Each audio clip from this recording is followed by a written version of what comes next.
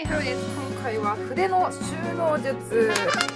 ちょっと前にですね、絵の具とマーカーペンの収納法っていうのをやったんですけど、今回はね、筆の収納をしていこうと思います。ちなみにね、全部ダイソーさんで買ってきました。まず1つ目がこちら、アイアンウォールバーのアンティーク調のやつ。これが本来はね、こう写真みたいな感じで、タオルとかね、かけたりする用のやつなんですけど、今回はこれを使っていきます。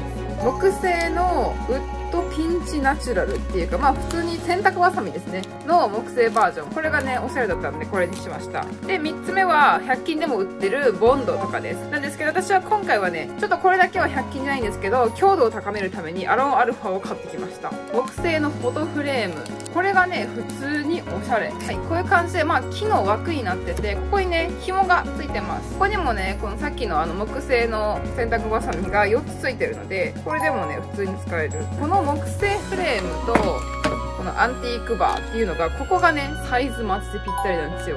やばない。なのでまあ流れを言うと超絶単純でここのねバーのところにこういう感じで洗濯バサミをくっつけてこうやって挟んでいくようなイメージです。こういう感じなので、まずはこの辺かなって思うところで、アロンアルファでくっつけちゃいます。ここにね、本来こう釘を打ち込んでもいいと思うんですけど、ちょっとめんどくちゃいので、私はアロンアルファでつけます。強度がね、欲しいっていう人は全然ネジを打ってもいいと思います。アロンアルファ使うときはめちゃめちゃ気をつけてください。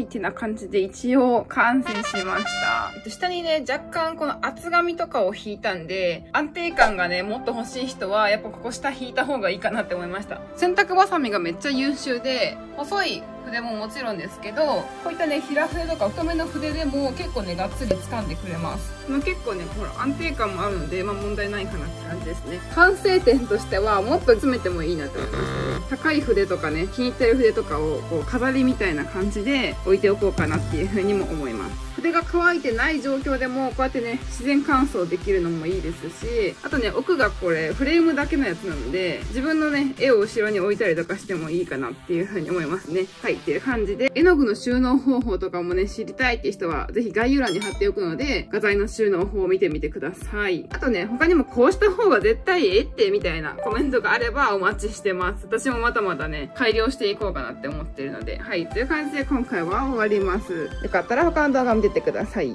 バイバイ。